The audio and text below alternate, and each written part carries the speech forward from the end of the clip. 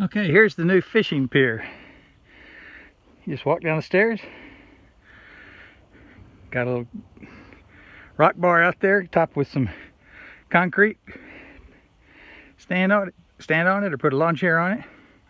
Cast up and down the river. It should be particularly good at night. I'm going to try it out myself tonight with some minnows and perch.